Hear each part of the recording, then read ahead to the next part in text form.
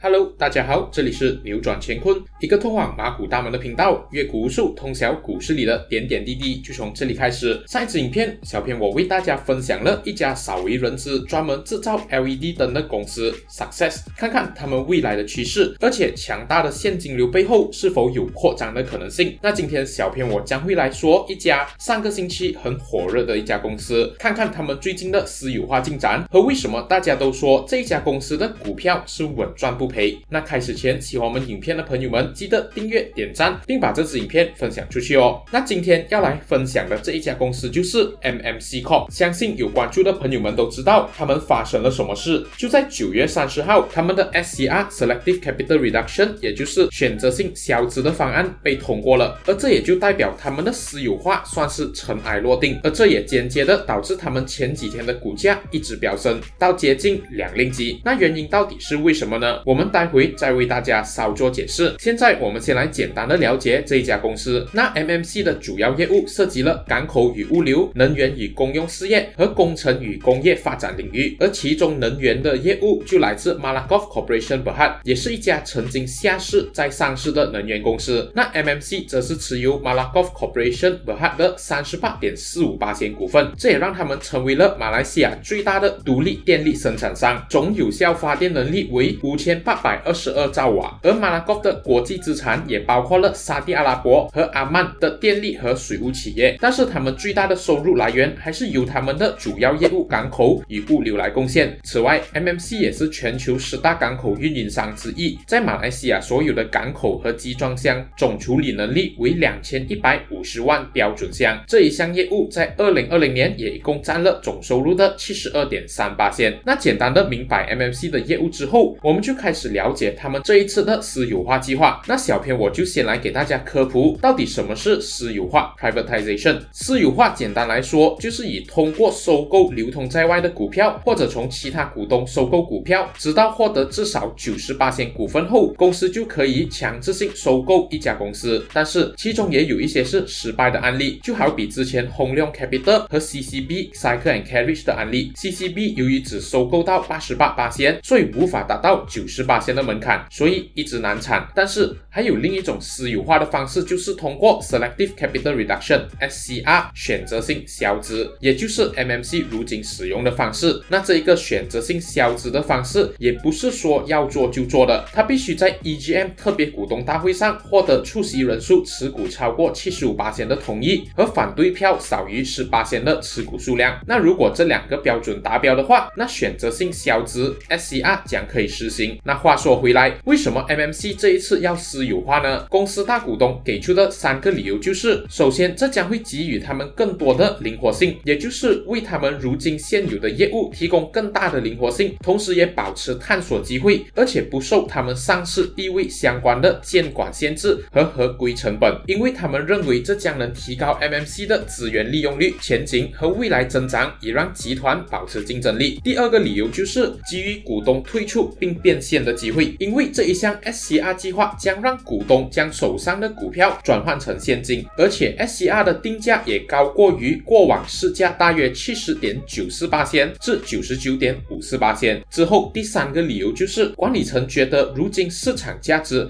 并没有反映出公司的潜在价值。就以他们的每股资产 NTA 来做例子，MMC 的 NTA 每股资产是三令级二十仙，但是股价却只有一令级九十五仙。虽然说每股资产并不能正确反映股票价值，但是也许管理层认为，如今的每股资产所能产生的未来收入远远被低估，所以才想将 MMC 私有化。但是这些都是他们纸面上所说的话，我们听听就好。那我们就来说关键。的地方吧，也就是大家比较混淆的地方，那就是这个 SCR 到底是如何操作的？为什么一下 bonus issue，一下又 reduction？首先，我们要先来了解如今的股权分配，那就是如今仅要将这一家公司私有化的股东 Dan Sri Dato Sri s h e t m o k t a 他是通过他的 Indra Cita Sdn Bhd 持有的 Seaport Terminal Johor Sdn Bhd 来提议这一项 SCR 选择性消资计划。那他一共是持有了 MMC 一千五百七十六个 million 张。股票，也就是占股五十一点七六个八仙，而其余的投资者则是持有一千四百六十八个 million 张股票，也就是占股四十八点二四八千。那这里大家要记住，当 SCR 选择性消资计划完成之后，它的最终目的就是把其余的一千四百六十八个密恋张股票撤销掉，只剩下一千五百七十六张股票，这样它就能拥有一百八千的股份，并私有化 MMC。那明白了前因后果。我们就来了解中间的过程与细节。首先，他要以两令吉的价格向现有的其余投资者换取手上的股票，那他就必须要有两千九百三十七个 million 的 share capital 股本。但是如今 MMC 的 share capital 只有两千三百四十四个 million，所以是不足够的。那他就拟定了一项 bonus issue 红股发行，但是是使用旧的方式，也就是用公司 retain earning 来发行这一项 bonus issue。那关于这一个 bonus issue，存有两种方式，如果大家有兴趣的话，可以在留言区打上 BI，之后小编将为大家做一支影片讲解。那回到正题，这一个 bonus issue 一实行，它将会把价值一千五百九十三个 million 的 retain earning 转到 share capital 上，这样书面上的问题就解决了。但是这里要注意，这一项 bonus issue 是不会进入任何投资者的户口的，也就是说，它并不会影响股票的数量或股价。所以投资者们不要搞混淆，不要看到 bonus issue 就冲进。去买，那么一旦他们拥有足够的 share capital 之后，MMC 就会以两令吉的价格向市场上所有投资者收购他们的股票，然后收购完毕之后，MMC 就会将那价值两千九百三十七个 million 的剩余股票撤销，就只剩下大股东的一千五百七十六张股票留下来，以达到一百八千的支持率，然后成功私有化这整家公司。那在分享为什么稳赚之前，这里要送大家一个福利，那就是如果你是新手，想要开设投资。户口并享有零点零五八仙最低水钱和良好服务的话，可以在这支影片留言区的 pin comment 了解更多，并且声明此推荐纯粹是想要新手们受惠于节约投资成本，少走冤枉路，并没有任何的商业或利益关系哦。那么回到正题，那到底为什么是稳赚呢？为什么当他们宣布将要私有化 MMC 的时候，股价就开始大起呢？其实原因很简单，那就是大家都会觉得之后公司将会以两令吉向投资者收购股票，那只只要以便宜过两令吉的价格来购买，那之后将可以赚取差价。所以就在他们六月三号宣布将会计划 SCR 后，第二天股价就马上 limit up 了。但是过后又有一些小回调，然后来到九月三十号，他们宣布这一项计划得到了特别股东大会的通过之后，相信这也就让投资者们更有信心了。所以股价又一度飙升到接近两令吉。那到底会有什么风险呢？风险其实就是时间上的等待，因为 MMC 管理层预计这一一项。计划将在今年十二月完成，也就是说，希望在这几个月内并没有什么大事情发生，而且还有最后一关，那就是十二月必须得到高庭法院的批准，那这一项计划才算是完全通过。然后这里也要提醒投资者，如果刚才小片我所说的你都听不懂，那这里就用一句话概括，就是以超过两令吉的价格购买，你就输了，明白吗？那么荧幕前的你们觉得 MMC 的私有化对投资者来说是否公平呢？觉得是的。请在留言区打上一，觉得不公平的打上二，并分享您的高见哦。之后有谁之前是成功看到这一个机会的，